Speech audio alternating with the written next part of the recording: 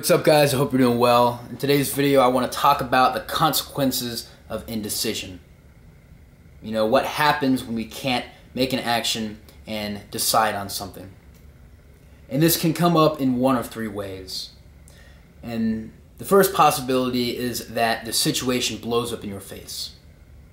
You waited so long to act on something or so long to decide that it came to the point where it was too late and it blew up in your face.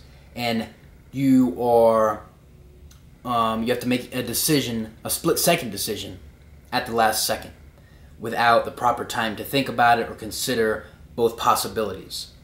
And this puts you in a really shitty situation. Make a good decision because you waited till the last minute, and then boom, right now you got to decide right now, right? And well, you're out of luck then. And the second possibility is that it's a little step it's a step further than the first scenario. It doesn't blow up in your face.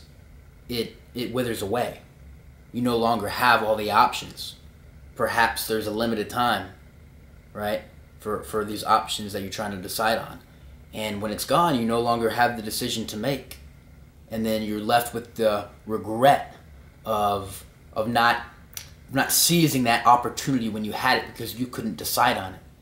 And let me tell you, that is one of the most painful feelings in the world is regret. You know, you can feel it deep inside you that you didn't take that opportunity when you had it because you couldn't decide, right?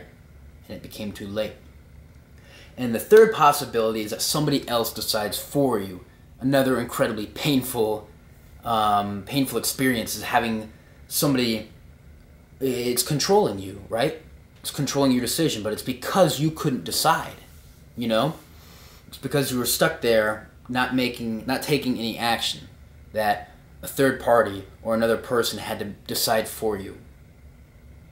And good chances it's not going to be the decision you wanted to make.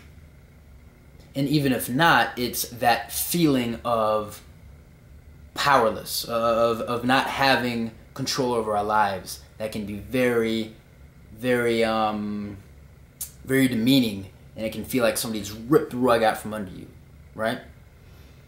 Because, guys, the thing with indecision is that it creates inactivity. If we can't decide on something, we can't we can't go on. We can't act further, you know, and we're stuck.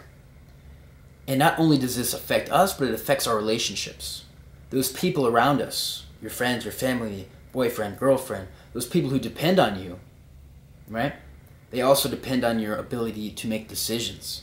And if you can't do that, they're going to lose faith in you. They're going to lose trust in you. And these are some of the most essential building blocks for any relationship.